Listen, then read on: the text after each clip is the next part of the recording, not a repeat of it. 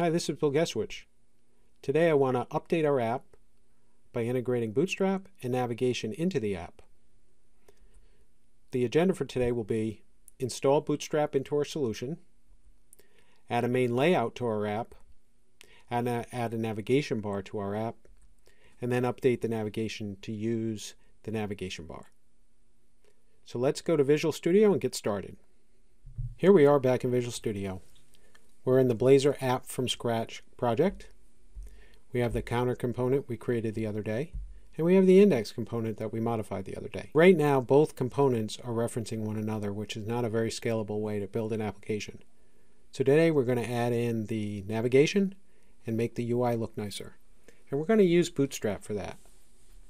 For those of you who don't know, Bootstrap is a third-party library, open source, that contains CSS and JavaScript to make your UI look much nicer and your UI responsive. The video today is not a Bootstrap course, so I'm not going to go into a lot of detail on Bootstrap. We're just going to use the pieces we need. So if you want more information, go to getbootstrap.com and check out the documentations and examples. They're very good. So going back to Visual Studio, first thing we need to do is add a location for the Bootstrap files to live in. There's a very standard file folder name, and that folder name is called www.root. So the first thing I want to do is add a new folder and call it www.root. Once that folder is there, the next thing we want to do is we want to install the Bootstrap files. To do that, we right click on the project name I like to use LibMan, and there is a UI available, so that's why I do it this way. There are other ways to do it, but this seems to be the most effective for me. You click on Add, and you click on Client-Side Library. For the provider, we'll leave it at CDN.js. And Bootstrap is a Twitter product, so it's under Twitter-Bootstrap. It pre-populates the most current version. And then I only like to pick a couple of files. The files I like to pick are bootstrap.min.cs and the other one should already be selected as bootstrap.min.js. And then instead of putting it in a folder called Twitter Bootstrap, I like to just get rid of the Twitter and keep it in Bootstrap. So it goes in the www root slash lib slash bootstrap. Now if you already created the folder, That'll be the default and it'll all be set up for you already. When we install it, a couple of things happen.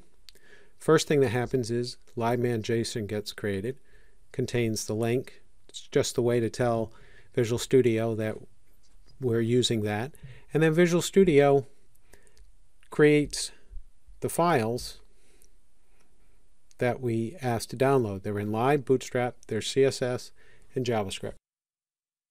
The next thing we want to do, and this is just to uh, make a, an application that looks very similar to the Microsoft templates that you'll use, is we're going to add our own CSS. And in order to do that, we're going to right click on the www root file, add, I'm going to put it in a folder called CSS. And then the common name for the CSS that you put in a site is site.css. So we'll go to add another item. I'll search for CSS. I'll choose the style sheet and we'll call this site.css.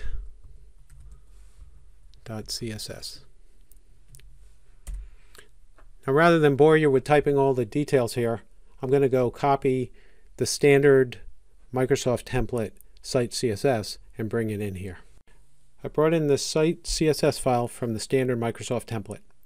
I'm not going to go into the CSS right now, but we will reference this as we go through the application. So now that we have the site CSS file in there, the next thing we need to do is reference Bootstrap and reference our site CSS file in the underscore host file.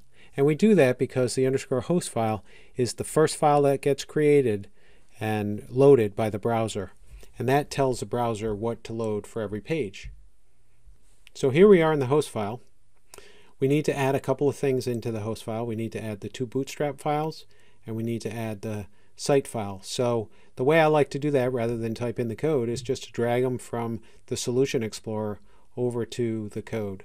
So the first one we'll pull over is the CSS file. Drag and drop it in there. We'll put it right before the end of the head section. Next thing we'll do is I like to keep the, the CSS files together. So we'll bring in the site CSS file next, put that right after it, and then we'll bring in the Bootstrap JavaScript.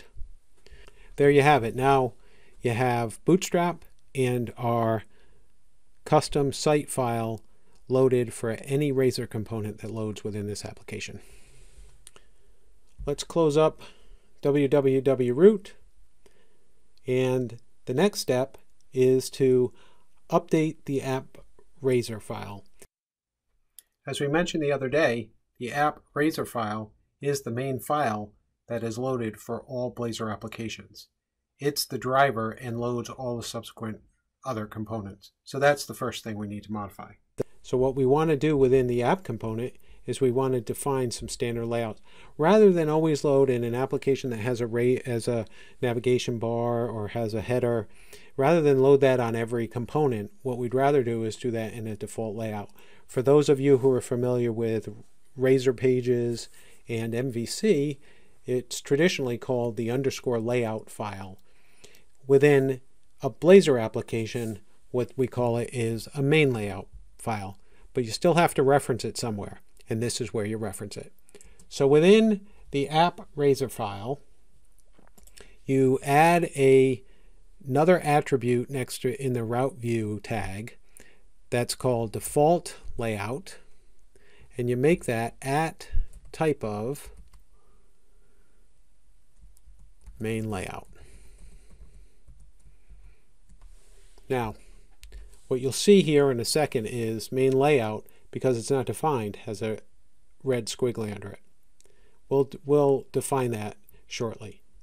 The other thing we want is rather than just show sorry no sorry there's no route here just on a plain vanilla uh, HTML page, we also want the default layout to, to load when it's not found. Remember from our other video, this is what happens when the route is found, and this is what happens when it's not.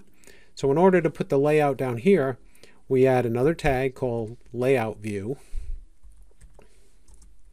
We say the layout is equal to the same thing at type of main layout. There we go. And we'll end that.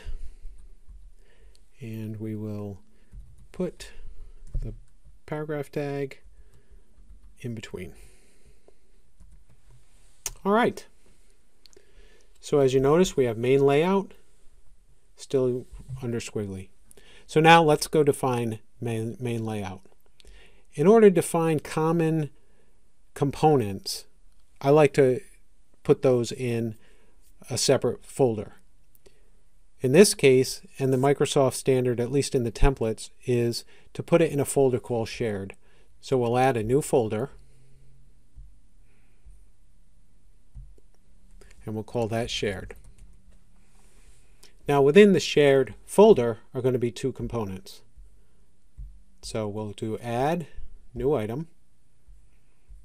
We'll click on ASP.NET Core. We'll search for Razor. And of course, let's make sure we choose the Razor component. And we'll call the first one main layout.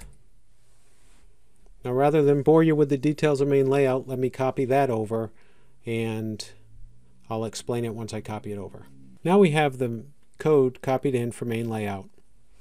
I'll explain a couple of things. First, it inherits from layout component base. Any layout that you use needs to inherit from that standard component.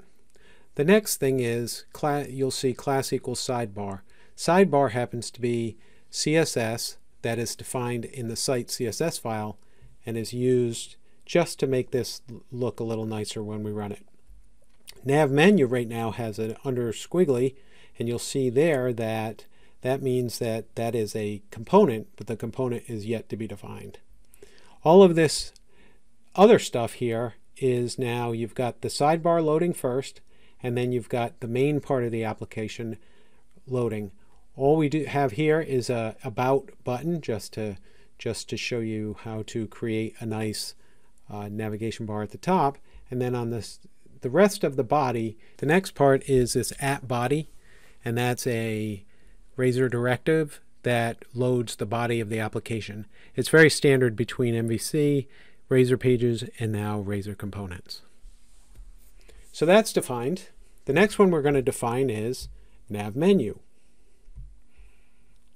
Let's go create a new item. And we'll search for Razor. Razor component. Call this nav menu. And then once again, there's a lot of typing here. So rather than me type on the video, I'll just copy it in. Here's the nav menu component.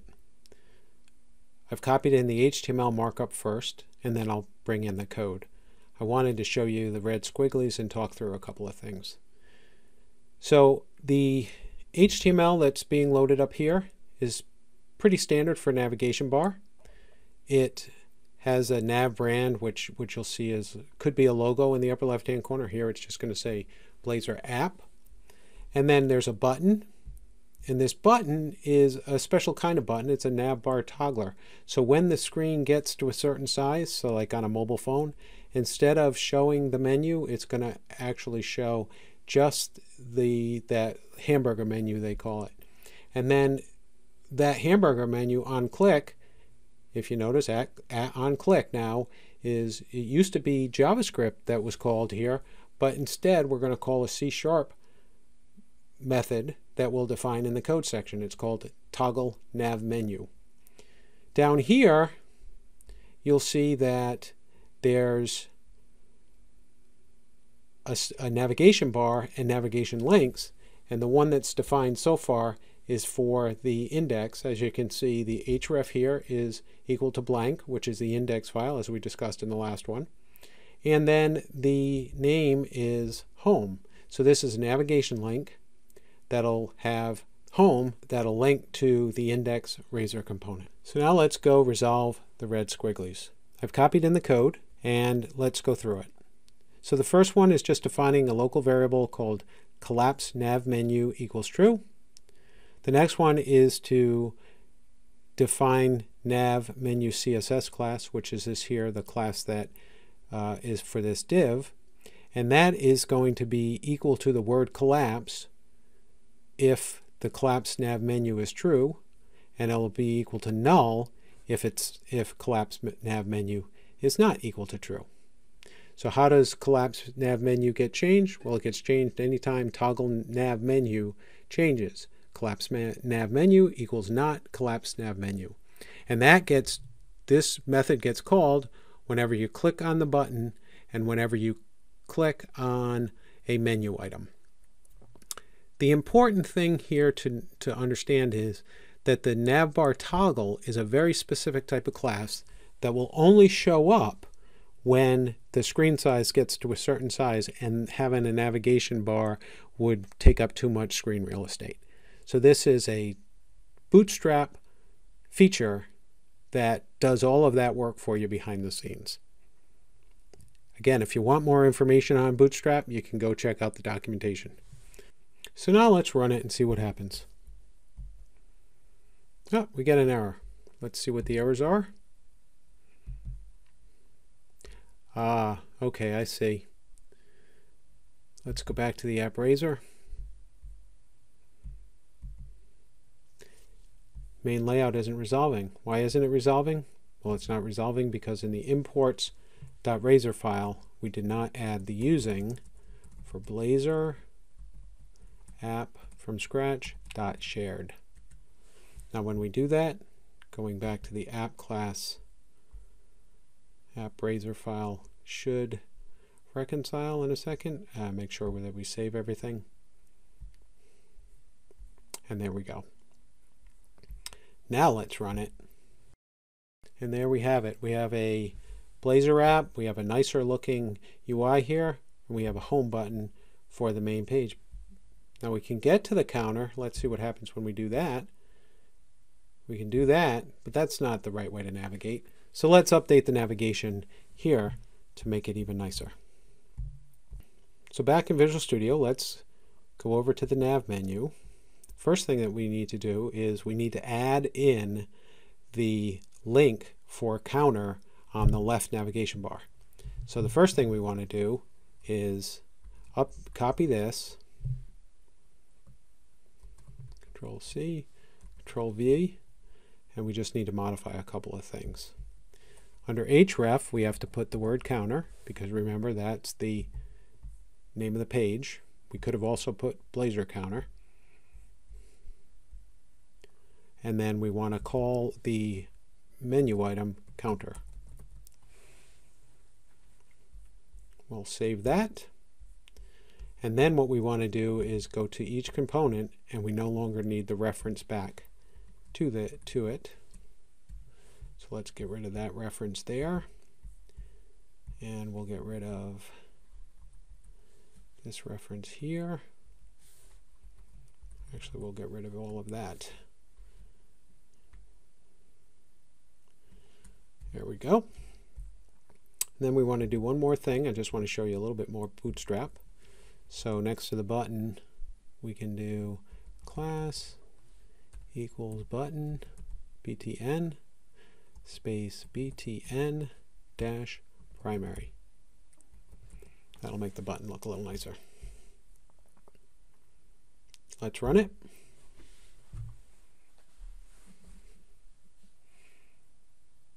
Hello for my first Blazor app. We go to counter. We can increase the counter. We can go back to home, go back to co counter, and there you have it. Our first Blazor app that actually looks pretty professional. Thank you for listening to this video, and if you have any additional questions, please don't hesitate to contact me at any of the information below.